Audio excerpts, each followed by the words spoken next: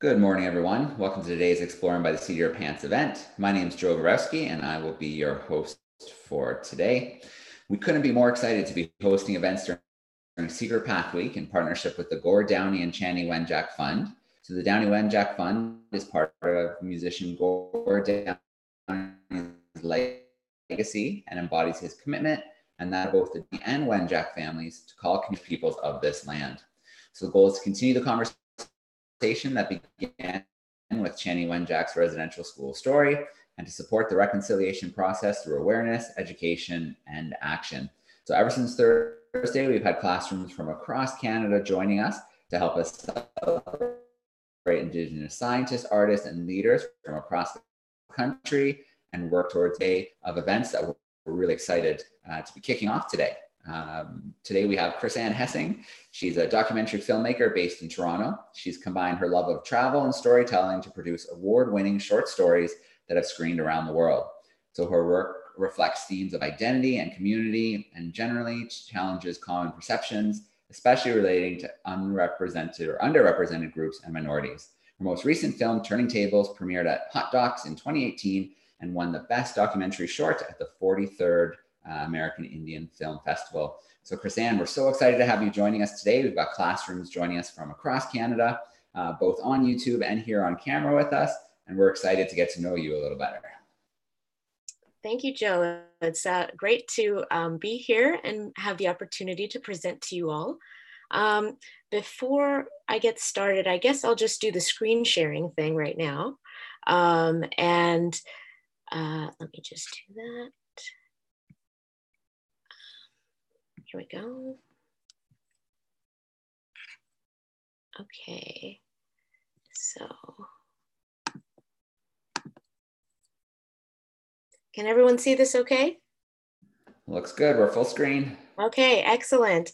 So um, yeah, as, as uh, Joe mentioned, my name is Chrisann. I'm a documentary filmmaker here in Toronto. And I'm so pleased to be able to talk about the latest short documentary that I directed, which is called Turning Tables.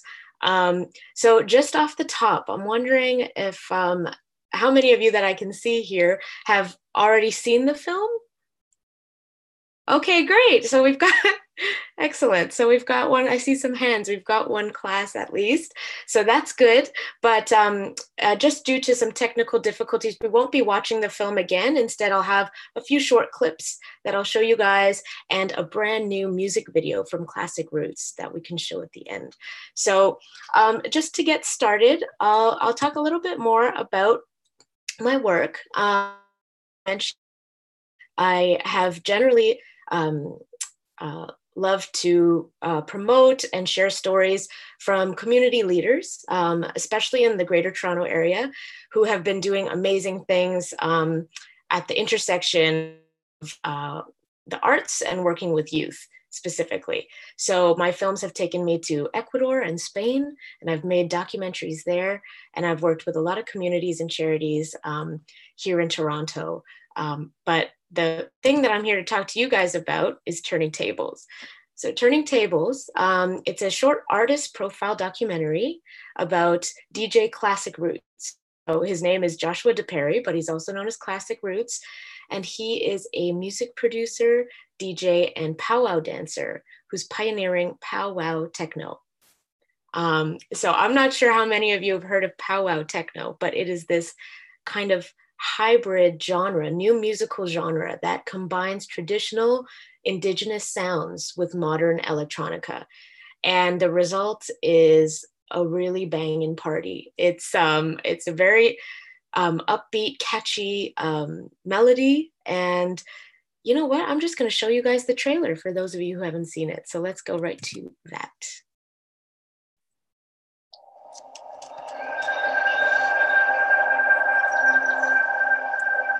Do I feel when I put it on? It reminds me of uh, back when the native people were traveling in the bush and just visualizing how they were before the settlers came.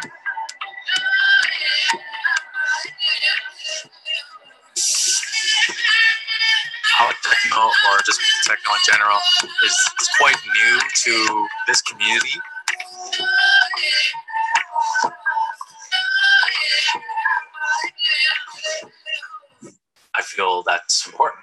Showing that we're still here.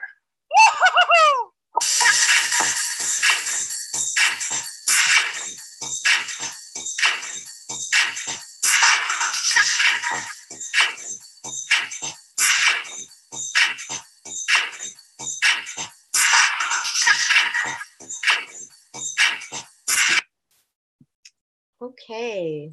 Um, I didn't lose anyone in that uh, in that video playing. I'm always nervous about that, but now we're all good. Now it played great. Okay. So um, I can just talk a little bit more about the background of Turning Tables and how um, Josh and I met. Um, it was now about four years ago that we initially met, and I was working on another film where he was a one of the dancers and I was on the crew. And um, basically, we hit it off, and he talked to me about the music he was working on.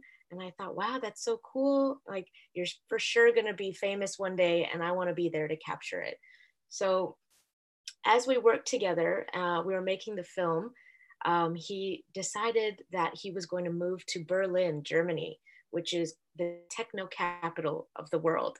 And he's like, I'm going to bring my music and my dance there. And I thought, wow, that is pretty it's a, a pretty for it. Um and um i just kept thinking back about the very first time that i saw him perform and i thought you know what? People are going to love you. So the first time that i saw him perform i didn't know that he was a powwow dancer. Um, i knew that he was a dj a techno dj and that um, he had these new beats and that he could break dance but when he came out on the stage in his full powwow regalia, there was a different energy in the room, and everyone really loved to see the way he um, was so energetic in his movement and his dance. So I already knew I wanted to make a film about him, at least visually. But when I saw him with the kids in his community, that's when I knew this guy is something special because he was a role model to the kids in his community. And I'm pretty sure there's a class here that's from Thunder Bay. Thunder Bay is where Josh is from. Where's the Thunder Bay class? There we go. Okay, amazing. So I don't know if any of you guys know about Classic Roots, but he is from Thunder Bay, and we filmed a bunch of the um, a bunch of the movies there in Thunder Bay. Um, and this photo right here was actually taken um, during a visit to his hometown reservation of Long Lake 58 First Nation and um, the children there were all part of the the movie, the making of the movie, and they had a really great time.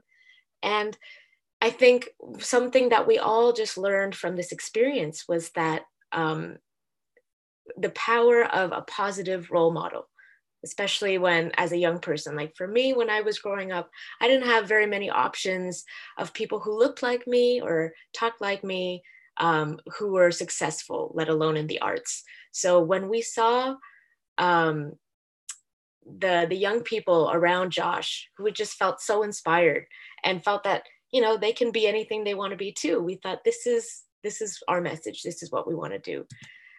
And I mean, look at that smile. This guy is such full of positive vibes, and he's a super talented DJ and dancer as well. So we just had a very, very great time making the movie and also sharing with people the fact that this is a positive story of an Indigenous person, someone who is resilient and who celebrates life and is thriving. So, just th- through the way that Josh lives his life, it's it's um, you could say it's a beacon of hope. It's a very positive uh, message to anyone at any age that you can follow your dreams no matter where you come from. So we made the film and um, hopefully for those of you who watched it you've seen it. You've seen how you've seen how it ends. No spoilers. But for those who um, haven't yet seen it we will be sharing the link that will be available until tomorrow um, where you guys can watch it for free as part of secret path week. Um, but the film was extremely successful both in the classrooms and in the film festival world. So we have screened in over 20 film festivals around the world. Um, and Classic Roots and I have been traveling um, all over to where he would DJ and dance, and we would show the film. Um, and so it's been a wild ride since the premiere to a year ago, over a year ago. And since then, we've actually created a new project. Um, so, for those of you who had seen the film, you know that there's a scene in the in the film where he um, is in the studio and he's jamming with his friends, and they create a little track. So that song is called "Start the Fire," and we ended up taking that track and making it into a full song, and um, creating a music video for it that actually just released about a week ago. So it's very fresh. Um, and I want to share that with you guys. And in this music video, it basically just documents um, our time on tour where we visited or revisited the communities that we worked with. So, including some schools in Thunder Bay, but then also up north, and um, having them watch the film and and and meet with Josh and and have a uh, a good time just dancing. So, without further ado, I will share this music video with you guys, if that's okay. All right, here we go.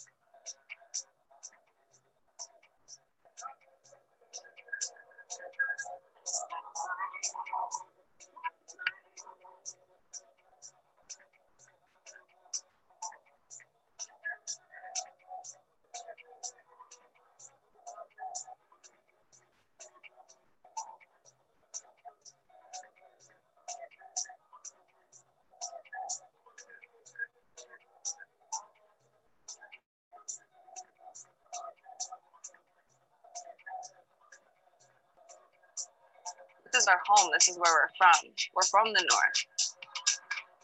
We're all here because we had a dream. We all just continue to keep striving and to keep growing and to keep healing from anything that we're going through. We've all had uh, traumas, we've all had issues that we've had to get past. And for us, our tool to be able to grow and heal was music.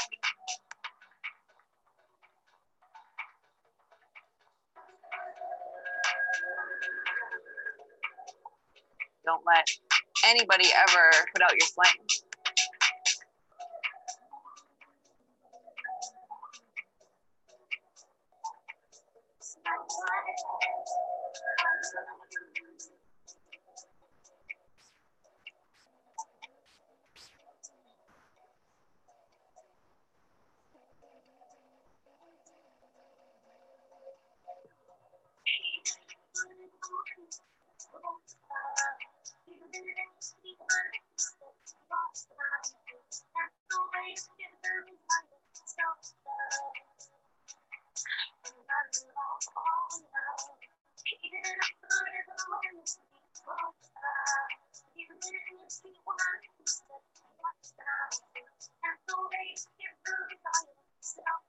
Thank you.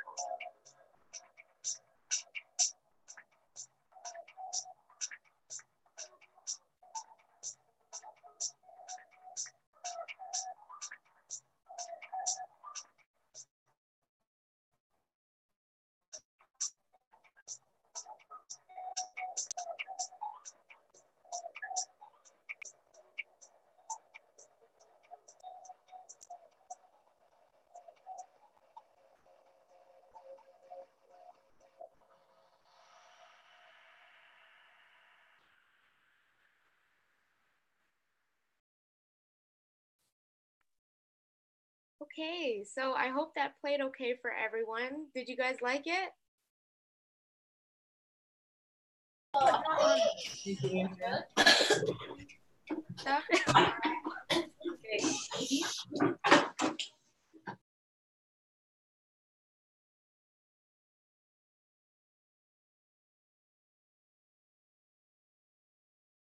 That's amazing. Just before we um, go to some questions, I'd be happy to take questions from you guys. Uh, for all the teachers who might have not yet um, seen the film, uh, there is this link available here. Um, which will be only available until tomorrow. Um, and if you do decide to screen the film um, today or tomorrow morning, uh, I'd ask that you please contact uh, Leslie Sparks, who's our um, representative from Hot Docs, who's been facilitating having the film available through Secret Path Week, and just share with her the teacher, like your name, school name, location, as well as any information about the number of students that were able to watch the film. And last, um, I just want to say thank you again uh, for hearing me out and uh, hearing me talk about turning tables. You can follow us. We are on all social media platforms on Instagram at Facebook at Turning Tables Doc and Twitter as well. And we have a website, www.turningtablesdoc.com. And of course, if you love classic roots music, which who wouldn't after, after all that, uh, you could visit him at classic-roots.com and um, at Classic Roots on all platforms. And the, the music video, the song for Start the Fire, the remix, is now available on Spotify and all platforms as well. So yeah, with that, I guess I'll stop screen sharing. And Perfect. Awesome, Cristiano. Thanks so much for sharing. It's a really cool music video. And the documentary is great. So I really hope that as well to the classroom streaming on YouTube. If you need to see that link again, just let me know and I can share it with any classrooms who are interested. And speaking of YouTube, I want to give a few shout outs. We've got um, a class in Markham's, uh, Canadian International Law class hanging out with us today. We've got um, a class in Brockville, Ontario. Uh, and then, believe it or not, we have one of our scientists who does events with us. He's watching all the way from the Mariana Islands in the Pacific Ocean. So wow. don't forget to send us in some questions and we will work some of those in. But I think we should meet some of our camera classrooms first and see how they're doing. Sure. So uh, let's see. Let's go. Let's start off in Thunder Bay. Let's go to Mr. Levine's class. Let me get their microphone turned on. There it is. How are we doing, Thunder Bay? Good. Good.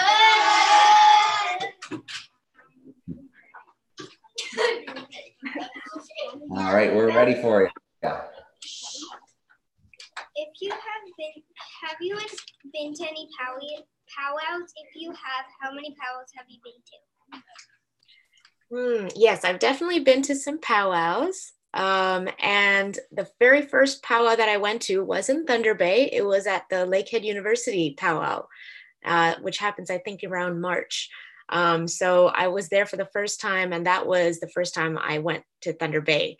Since then, um, I've been to powwows up in, in Josh's hometown res, and recently the one that you saw in the music video that was in Marathon and that was organized by the um, Marathon High School students. So maybe I'd say under five. I definitely want to be going to more, but but uh, yeah, I'd say it's about five powwows that I've been to. Yeah. All right, very cool. Thanks for the question. Uh, yeah, we're definitely going to come back Thunder Bay's way. Mm-hmm. But first, we're going to go to Mrs. Evershed's group. They're hanging out with us in Mississauga, Ontario. So probably not too far from you, Chrisann. Let me get their microphone turned on. How we doing, Miss Saga? Good. Good. Good. Very much. Good. Um, go ahead. Was it your first choice to be a, a video producer? Sorry, can you repeat that one more time? A louder. Okay. Was it your first choice to be a video producer? Ah, okay. My yeah, my first choice. Actually, when I was um, very young, I wanted to be a musician. um, so I guess it kind of works out that I ended up getting into film production so I could work with musicians. I, I did go to film school um, in so not too far. And um, yeah, I've just kind of stuck with film since then. But I do love working with musicians still. Yeah. All right. Well, it's a pretty awesome thing when you get to combine some passions, when you get to take that, that love for music and uh, make some really cool media around it. Definitely. All right. So uh, I've got a question coming in from YouTube that I'm going to put in right now. And this class is wondering about the process. So from the idea uh, for the film to the film being released, what was that kind of time frame like? Yeah. So um, it's it's funny. I usually ask, ask, people to guess, but there's so many people here, so I'll just tell you. Um, it it took about one whole year um, to come from the moment I had the idea I want to make this film to when we were finished the edit and giving it to our, our broadcaster. One whole year for 15 minutes of a film. And that's actually a very quick turnaround for documentaries especially they can take years and years and years and a lot of that can be sometimes just finding the funding to to be able to hire your crew and and and um, be able to fly to the destinations that you need to film at and all the camera equipment.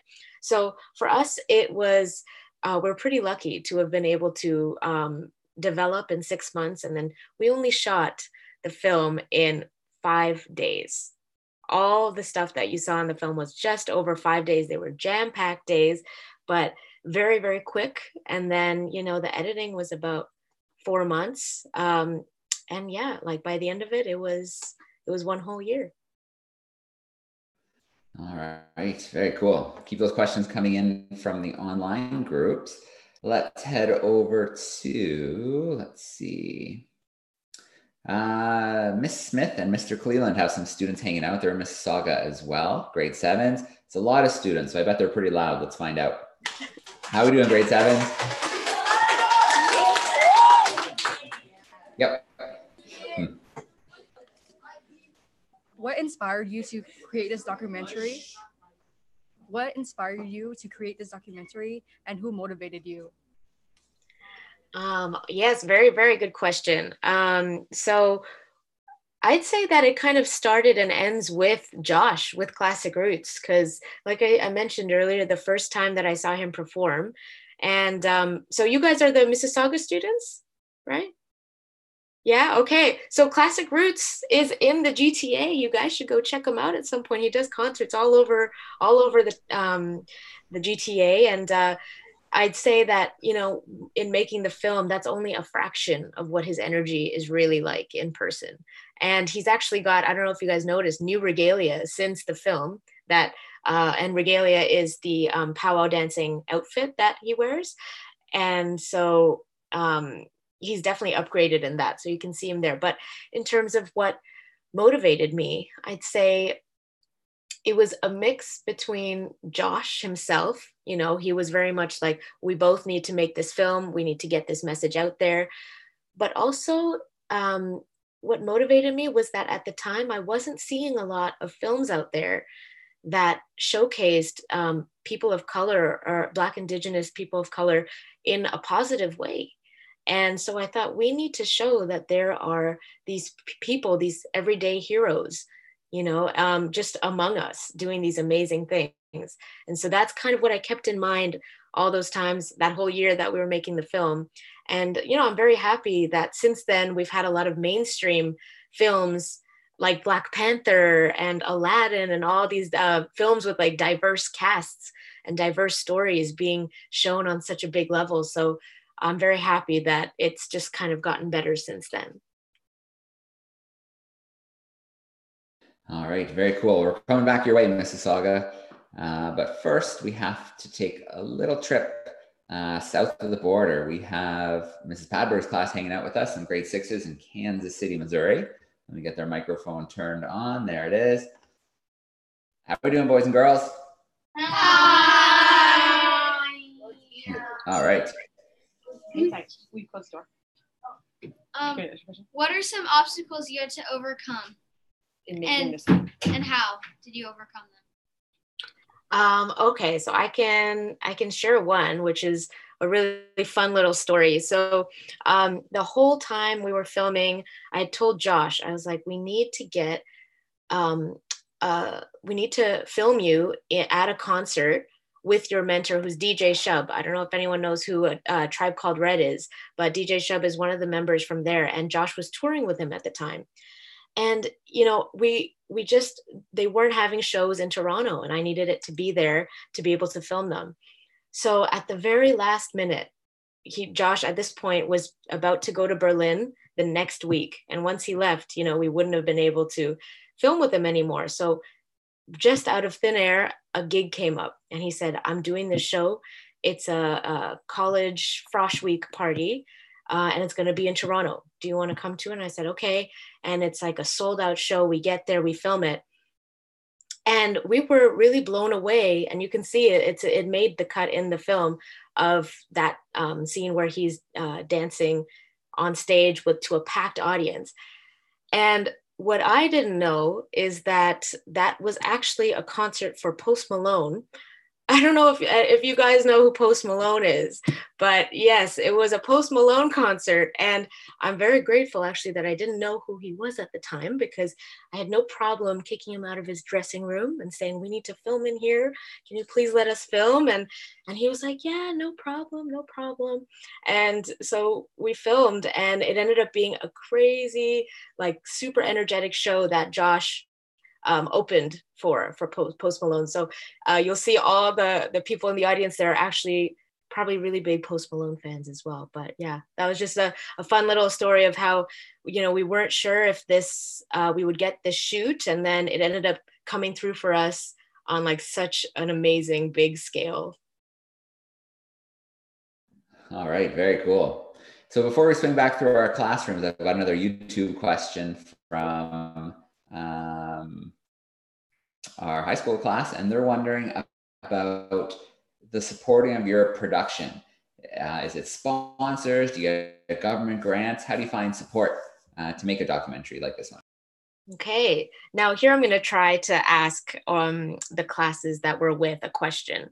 Um, does anyone want to throw out a number of how much money this film cost to make? All right, I'm going to put a couple microphones on. We'll take some guesses. Let's start with Mrs. Evershed's group. How much money do you think the film cost? Go ahead and shout it out. Just shout it out. Um, Hannah, shout it.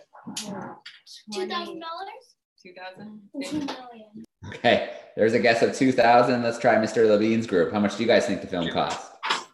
Sixteen thousand. Top. Okay, a little bit higher. Let's try Mr. Cleveland's group.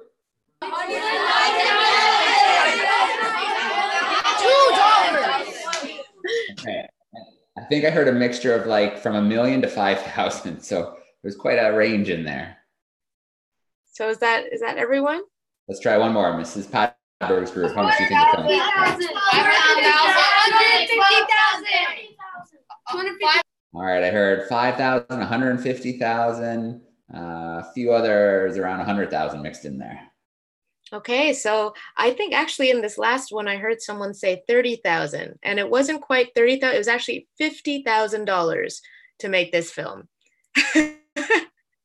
$50,000. And that was courtesy of a grant that was awarded uh, to us by Bell Media uh, through a program that they had at the time called Bravo Fact which was the foundation to assist um, emerging talent. Unfortunately, that grant no longer exists. We were actually the last group of filmmakers to get that funding.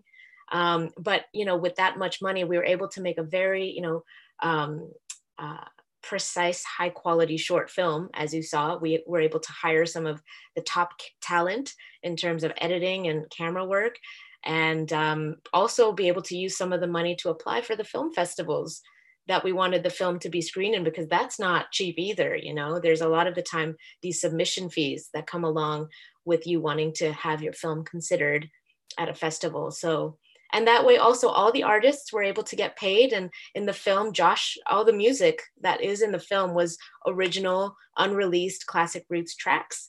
So we were able to license the music from him as well. And we released a soundtrack. I'm not sure if I mentioned that already. There is a Turning Tables official soundtrack uh, available on all platforms. If you loved it, and including the very first version of Start the Fire. So it's um, the the music video that I showed you is the remix, which has lyrics and everything like that. But the first one is just um, taken from from the film. So you guys can check that out on all platforms when you get a chance. All right, very cool. Well, I see someone waiting super patiently in Thunder Bay, so I'm going to turn the microphone on for her. Here we go. You're on. What bands are you in? Like, your hmm? First Nations. What bands are you in? Oh, so an interesting question. I'm actually not indigenous. I'm I'm yes, I'm I was born in Bombay, so I'm Indian, and I'm an immigrant. But um, Josh is uh, half Blackfoot and half Ojibwe.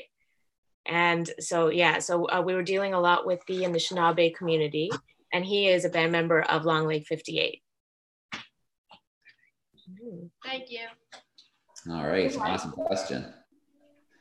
Uh, let's go to Mrs. Evershed's group, see if they have another one for us. David, no, put, your, put your hands down. David already gets question. Okay, right up here and speak nice and Um, loudly. what are you doing? What is Josh doing now? Okay, very, very good question. I love to answer this one because he's doing so many exciting things. It's it's difficult to keep up with him these days. So um, the film ends off. Oh, actually, you know, I won't say because there's some people who've not seen the film yet. But his travels have uh, since taken him all over the world. You know, he's uh, he was in Japan earlier this year on a tour in Japan, and also in Paris doing a show there and um, him and I were just in Colorado. He's uh, DJ'd at techno festivals in Detroit and um, Amsterdam, and uh, he was also in South America this year. So he is touring a lot, and also um, still very much touring in First Nations communities through. Um, uh, it's called the Reach for Life Tour, which uh, is a collective of these amazing Indigenous uh, mentors and musicians who go um, uh, to different reservations across Ontario to hold concerts and um, motivational speaking and all sorts of workshops with the youth. And that's called the Reach for Life Tour, if anyone's interested in checking that out. All right, very cool. Uh, Mrs. Padberg's class, let me turn your microphone on again. Anybody have any questions? Charlie, say something. Charlie. That's okay. I can come back if you guys want me to come back. Charlie, Charlie. Thank- We'll we'll think of a question and come back to us. Okay, no pressure. Uh, back to our big group in Mississauga. Let me turn your microphone back on, Mr. Cleland's group. Your microphone is on. What skills do you need to be a filmmaker? Hmm, very good question. Um, so I'd say, um, at, at least for documentary film, what's amazing about that um, that side of the film industry is that I know a lot of very uh, talented and successful filmmakers who never studied film. You know, they came from very different backgrounds. I think what it comes down to is um, an openness to um, uh, deal with people without judging them and being open to hearing people's stories, um, their perspectives, and uh, to listen without judgment, I think is a big part of it. Um, and then also to, um, I'd say it's passion oriented kind of uh, uh, job. So you have to really care about about the story you want to tell and the message that you want to leave. And you know what? If you, uh, in my in my opinion, if or in my experience rather, if you are in something for the right reasons with good intentions, things doors will just open for you. So it's kind of a mix of different things, but a lot of it does come down to how you can interact with people and um, um, yeah, just be a good listener. I'd say. All right. Well, check in with our Missouri classroom and see if they have that question ready. But no pressure. We can move on if we're still thinking. You guys are putting a lot of pressure on Charlie. Poor Charlie. What, what, what, what's the best part about living in Toronto? Oh, well, I would say that it is, there's so much going on all the time. I think, in terms of film festivals and stuff like that, I think there's a film festival that happens every single week of the year, year round. So there's always something. Um, Toronto also hosts, um, I think, Canada's only documentary only cinema. So there's a place to go, and that's the Hot Docs Explore or Ted Rogers Hot Docs Cinema. And I mean, yeah, there's just so many amazing opportunities. Uh, I mean, yeah, you can catch Classic Roots perform at the AGO or at the ROM. Um, so yeah, there's there's a lot going on. All right, very cool. Well, Kirsten, I think we might be able to sneak in another question. And I see someone waiting so patiently in Thunder Bay that I can't ignore them. So let me turn that mic on. What is your favorite part of your job and why? Hmm. My favorite part of the job. Uh, you know, uh, there's a lot of different times that I love the job. Um, and there is such a long process too, right? There's the the time that you have where you're thinking about the idea, and then the time where you're actually filming it and working with the crew, and then you're editing it, and that's a whole other um, way of doing the storytelling. And then there's the the time that you have when you're releasing it and sharing the film with audiences. So I'd have to say I can't really pick one moment um, because they're all every part of the process is both exhilarating and terrifying at the same time. So it balances out quite quite nicely. And um, i mean yeah I'll ha- i've had very good experiences across the board. So yeah i'd say and it's a good thing to probably like the process as a whole rather than only at one point. So yeah all right. Thank you I for the question. One more, we'll go back to Ms. Smith and Mr. Cleland's group. Your microphone's on. I see someone wait. What do you want people to take away from this film? Mm, very good question. Okay, so um, what would I want people to take away from this film? Uh, I mean, other than the fact that they can know that uh, powwow techno exists and it's really good music, um, I guess I'd want um, people to take away just a new, fresh perspective on stories about Indigenous people, you know, and the fact that um, there are so many uh, beautiful artists in the Indigenous community that are um, such a, a, a beacon of hope and, and such a light for all of us. We can learn so much more from just the the work that they do, from uh, the way they live their lives, and for us to just pay a bit more attention to um, all the positive things that are happening around us. Mm-hmm. Thank you. All right. Well, Chrisann, time always flies when we do these events. Um, obviously, I want to say a huge shout out to our classrooms, both on camera uh, and on YouTube. Thank you so much for hanging out with us and your awesome, well thought out questions. The Secret Path Week is coming to a close quickly. But we do have a really cool event at two o'clock uh, Eastern with Rena Priest. She's a National Geographic Explorer. And we do have a camera spot or two left. So if any classrooms who are tuning in on YouTube or on camera want to join, just shoot me an email. But uh, Chrisann, I have to go back and say thank you so much. Um, Josh's story is awesome. The film is incredible. Um, I hope the classrooms get to tune in to it today and don't forget to send that information so they know uh, which classroom saw it. But again, Chrisann, thanks so much. And we look forward to seeing what you're cooking up next. I'm wondering if just before we go, I can get a little video of all the classes that are here live, just shooting a wave, and we'll we'll post it to our to our social media. Yeah. Okay. Great. Here we go. Sure. All right, what I'll do is I'll turn the microphone on and let things get crazy. So here we go.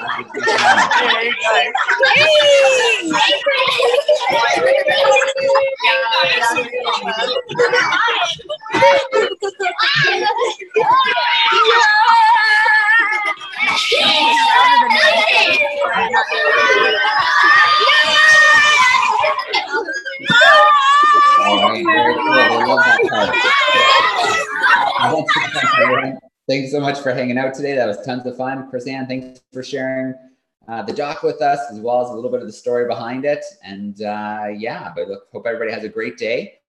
And we'll talk to everybody soon, hopefully. Thanks so much, Chrisann. Thank you.